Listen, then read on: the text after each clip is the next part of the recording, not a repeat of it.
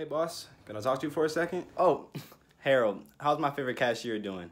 I just want to give you this. What's this? It's my two weeks. What? Why? I thought... It's the end of the summer, and it's time for me to go back to school. Well, you didn't put that in your application. Had I known you were a student, I would have never have hired you. I know. That's why I lied. Oh, so you lied. You know what? I'm happy you're leaving because we don't need dishonest people at Wendy's, okay? That's not what we represent. Hey, that's nice and all, but uh, I still beat. What? What did you. Who did you beat? You. I worked here for the summer. Got paid, I even got a raise. And now I'm going home. I beat the system, Charlie. I beat you. You were an awful cashier. You're lucky we even hired you. Still beat.